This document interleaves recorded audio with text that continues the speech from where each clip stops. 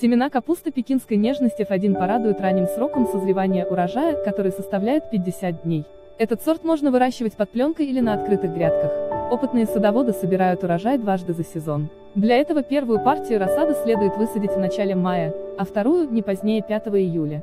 Сроки высадки необходимо соблюдать, чтобы растение не подвергалось цветушности. Капуста пекинская нежность F1 ценится за высокую урожайность и отличный вкус.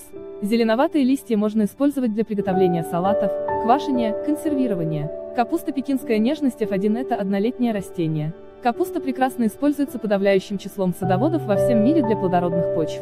Лист этого прекрасного растения по форме широкоэллиптический. Капуста пекинская нежность F1 имеет ранний спелый срок созревания. Плоды капусты созревают в месяце июль. Масса плодов приблизительно 500-800 грамм, но, конечно, зависит от условий выращивания. Цвет плода желтый. Ягоды можно потреблять в свежем виде. Это растение и тысячи других саженцев, луковиц и семян вы можете купить на нашем сайте www.lofa.ru. Если вы просматриваете это видео на YouTube, то ссылку для покупки этого растения можно найти в описании под видеороликом. Ставьте лайки, подписывайтесь на наш канал, и вы первыми узнаете о новых растениях для вашей дачи.